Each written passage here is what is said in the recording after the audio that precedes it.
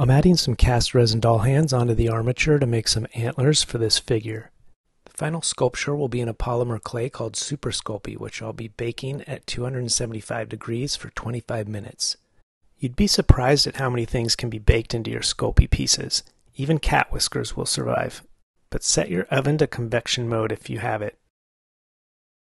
It's a pretty simple mechanism. I'm just attaching them to aluminum armature wire. So now I can turn and twist them to get the exact position I want.